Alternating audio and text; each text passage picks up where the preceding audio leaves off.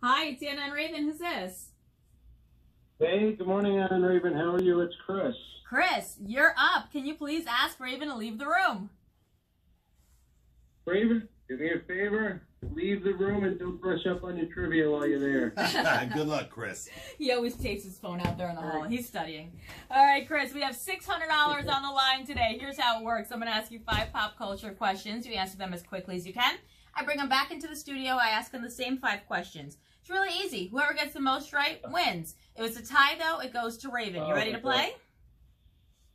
Oh, I am. I could still use 600 bucks right about now. I know. I'm gonna, I want to give it to you, Chris. Trust me. Number one, Elton John is facing legal action from his ex-wife. Which pop star is the godmother to both of Elton John's sons? Lady Gaga. Number two, despite rumors, NASA did not find a parallel universe as reported. What is the name of the alternate dimension in Netflix's Stranger Things?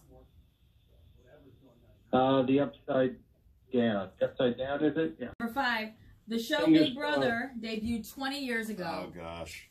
Who has hosted the American version since it started? Connie Chung, isn't it? No, it's Julie Chen! Oh! and just like that, Chris, you got that 600 bucks. Oh man. Congratulations! No way! Yeah, you Yeah, won! congrats. I mean, you know, if you had asked me that That is question, awesome. if you had asked me that question nine months ago, I think I would have had the right answer just because there was a lot going on with her husband or Yeah, whatever. Les but Moonves is her husband. yes, Yeah. yes. Yeah. Oh, I can't believe it. Well, Chris, congratulations to you. You just beat Raven and won $600.